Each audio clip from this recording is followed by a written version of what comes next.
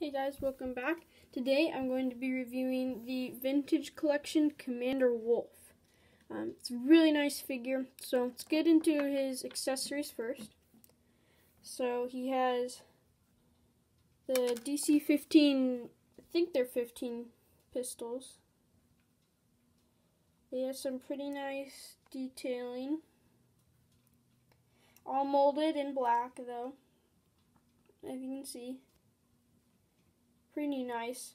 Sadly, however, he does not like to hold them. His hands are just way wider than the actual pistols themselves. But does come with two of them, and luckily they do stay in his holsters. And then he comes with a removable helmet that looks really nice. It's got some great detailing on it. Colors look nice. Um, the rangefinder is articulated, and if you really want to, it does pop out. But yeah, it's pretty nice. However, it is a little hard to uh, get back in, so I don't recommend taking it out.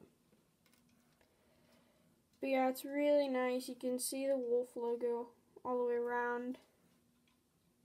Mine, the visor is a little chipped here in the corners. Not sure if that's from me or that's just how it came. But yeah. And then the actual figure, the face, the head sculpt is really great. As you can see, or not really because it won't focus but it looks just like him. He's got the scar, does look really good. His eyes. Really nice looking figure.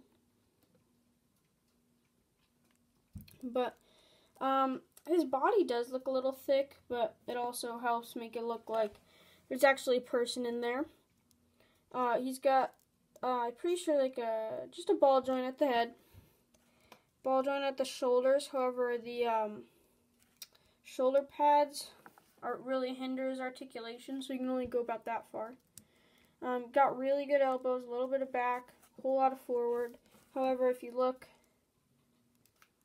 on mine, if you turn the elbows too much, it does chip the paint a little, which does suck. And then it's got um, hinges at the wrists, both wrists, both up and down. And then only a swivel at the waist, swivel at the legs, and then the camera kind of hinders it. Ball joint at the knees and ball joint at the ankles, but they don't, they move up a lot.